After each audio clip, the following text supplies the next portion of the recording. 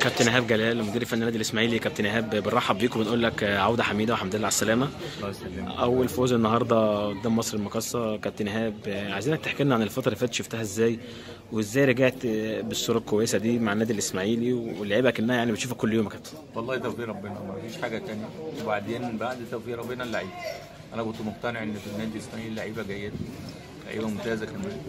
آه لكن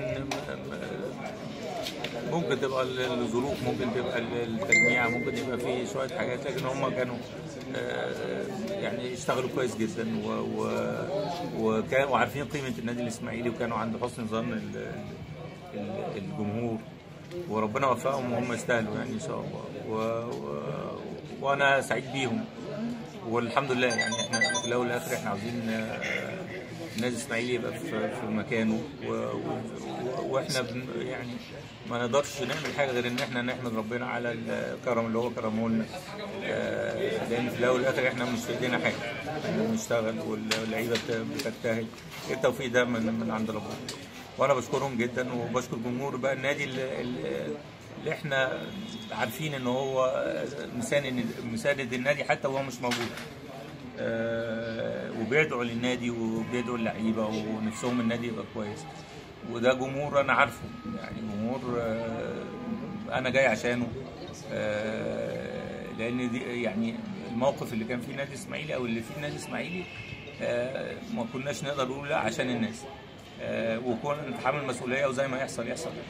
آه، الحمد لله إن هو آه، يعني كرم ربنا إن الفرقة يعني إلى حد ما آه، بقت في مكان آه، جيد وان شاء الله يبقى أحسن بإذن الله.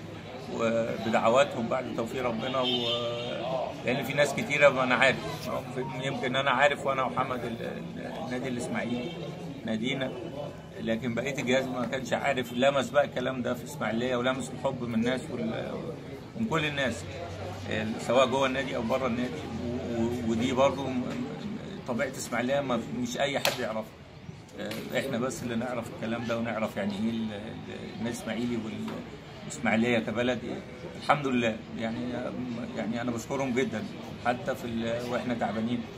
آه، الناس بتدعي ودي حاجة يعني بعد كرم ربنا آه، هي اللي قومتنا يعني. وبنحاول. أنا بقول لهم ما أقدرش أعمل حاجة. إحنا بنحاول إن إحنا نبقى كويسين ونبقى أحسن من كده. وبنجتهد ومعانا ناس بتجتهد آه، وبتشتغل بما يرضي الله.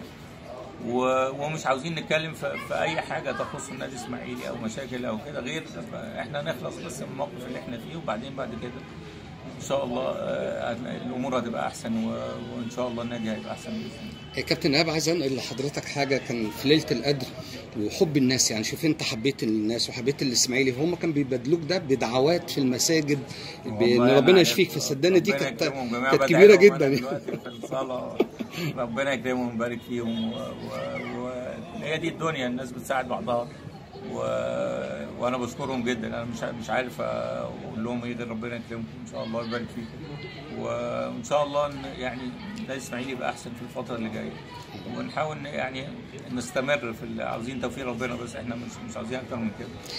وربنا يسهل. مش عايز أرجعك لذكريات المرض ولكن كنت بتتفرج على المباريات الاسماعيلي إزاي والمشاعر مش والانفعالات؟ لا, لا أنا كنت طبعا بعمل الحاجات وببعتها وبعدين بفتح التليفون طول المباراة. والتلفزيون لأ.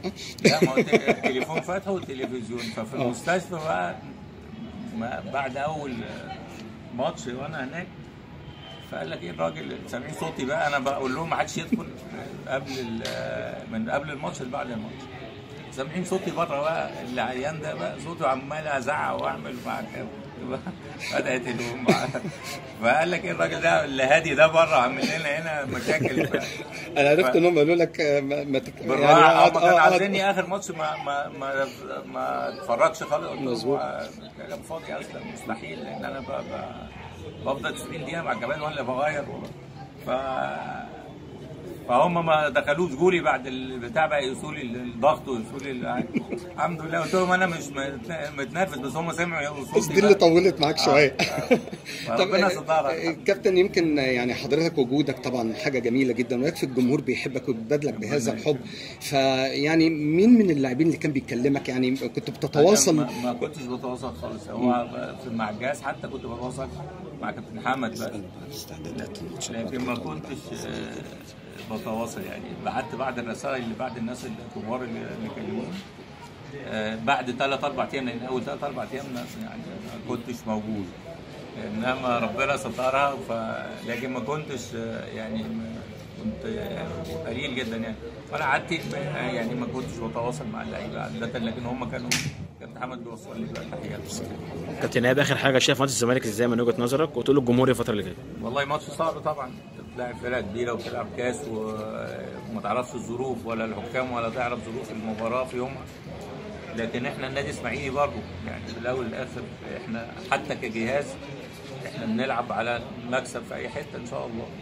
الطريقة بتاعته ما هنشوف الطريقة. لكن بقول للجمهور إن شاء الله كل مباراة بنلعب مكسب. أهم حاجة توفيق ربنا. اللعيبة بتعمل مجهودها وهو توفيق ربنا في الأول والآخر. إن شاء الله نجتهد ونحاول نعمل حاجة جيدة ونحاول نريحهم اليومين دول لغاية المباراة ونشوف إيه اللي هيحصل إن شاء الله. أشكرك يا كابتن توفيق شكرا. يا كابتن